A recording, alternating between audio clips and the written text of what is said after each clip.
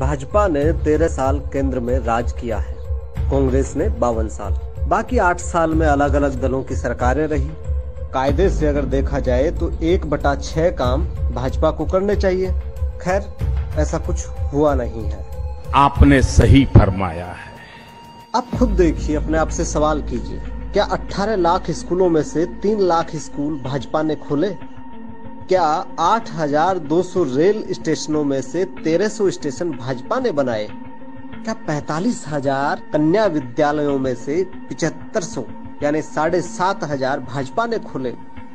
क्या 1200 नहरों में से 200 भाजपा ने खुदवाई? क्या पैंसठ बैंकों में से 10 भाजपा ने शुरू किए? क्या कोई steel plant IIT, AIIMS airport Bhajpa ने बनवाया?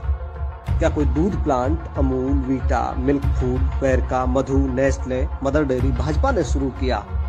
200 नेशनल हाईवे में से कितने भाजपा ने बनवाए? सैनिक स्कूल, केंद्रीय विद्यालय, सर्वोदय विद्यालय, नवोदय विद्यालय में से भाजपा ने कौन सा स्कूल शुरू किया? सुप्रीम कोर्ट एल क्रिब्को हेफेड, नेफेड हाई कोर्ट में से कौन सा संस्थान बीजेपी ने शुरू किया?